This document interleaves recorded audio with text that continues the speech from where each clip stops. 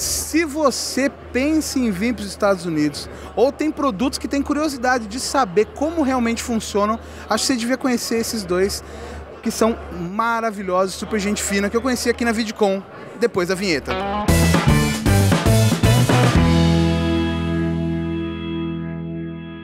Olá, eu sou Camilo Coutinho, seja bem-vindo ao Play de Prata, o canal criado para inspirar e desenvolver as suas habilidades em vídeo. E estou aqui com um canal que a gente ama muito, tanto eu, mas principalmente a Ju, que é o Carlinhos Troll e a senhora Troll. Tudo bem? Tudo ótimo, melhor agora. Ah, é muita emoção. A gente veio aqui para a VidCon, ficamos caçando eles para lá, onde eles estavam publicando, onde eles estavam colocando. E eu quero agradecer todo o carinho. Assim de encontrar. Quero agradecer o carinho de vocês, Eu de dar um agradeço. tempinho aqui. Vocês são uma verdadeira inspiração pra gente. É, tanto de produção, vocês produzem muito e editam muito, como é, eu digo de empreendedores, né? Porque vocês estavam com o canal 1, aí abriram zona de teste, aí abriram mais um terceiro canal. A gente abriu o segundo canal Zona de Testes graças à VidCon do ano passado. Verdade. Eles deram dica, ah, separa conteúdo, não põe muita coisa diferente no mesmo canal, faz bem separado e a gente vamos separar o RA. Experimenta, que é experimentando coisas Sim. diferentes, vamos levar para um outro canal. E foi que, que criamos a Zona de Testes. Graças à VidCon. Que demais. Olha que bacana, você criador aí que tá pensando em vir, é muito bacana.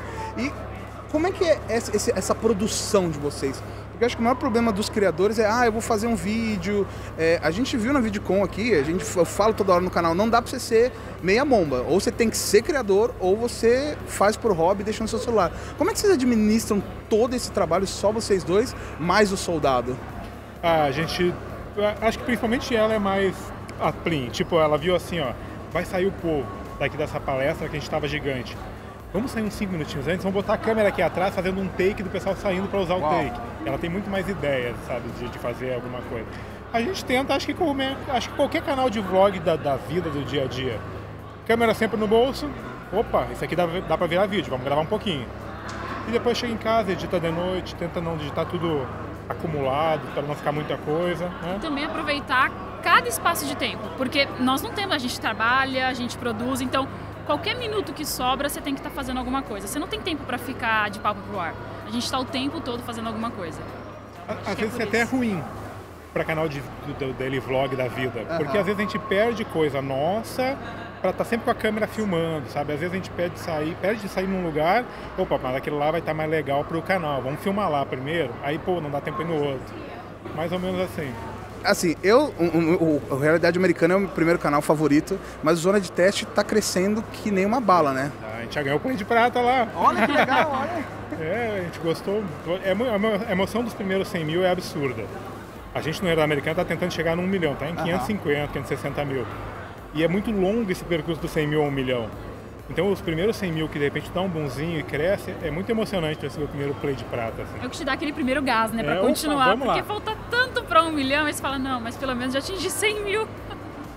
Que bacana. E uma coisa que, que eu acho muito legal é que é, é, a gente sempre vê nos vídeos, não sei como é que é o back-office de vocês, mas sempre a senhora Troll editando, editando, editando, né? Como é que foi quebrar essa barreira assim, senhora Troll? Ir lá e editar? Você falou, não, eu vou conseguir, ou não teve? Você falou assim, gente, precisamos editar e acabou. Foi na pressão, né? Precisava. Precisava. A gente, o, o soldado é um editor profissional, Uhum. ele trabalha com empresas gigantes no Brasil.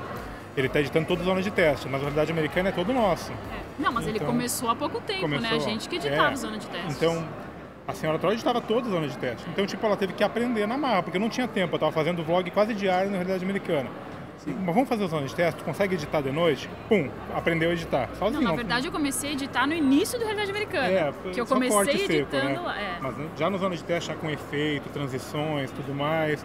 Eu acho que a necessidade faz, né? A gente vai... Precisou de um novo editor, teve que aprender. Que bacana. E, e o que, que vocês assistem pra se divertir no YouTube? Ou não dá tempo? É só revisão de vídeo? Ah, a gente mal assiste TV, né? A gente nem tem TV paga em casa, nada. A gente vê canais tipo o nosso de daily vlog, a gente gosta muito. Basicamente, né? É. Daily vlog de família é o nosso predileto, acho. Predileto. Que legal. A gente vê muito a Flávia, a gente vê o João no Meu Mundo Minha Vida. E um tipo de canal como o nosso, que mostra o dia a dia da vida, a gente gosta bastante de acompanhar. Poxa, muito bacana. E é um canal de casal, né? Como é que fica essa relação aí? De repente, ó, amor, vamos fazer isso. Tem uma hora que a zona de teste é da senhora Troll, tem que é- ela é mais certinha. Se tu olhar o zona de testes e olhar a realidade americana, na realidade americana eu ligo a câmera e gravo. Às vezes tá sem foco, Sim. às vezes tá tremendo.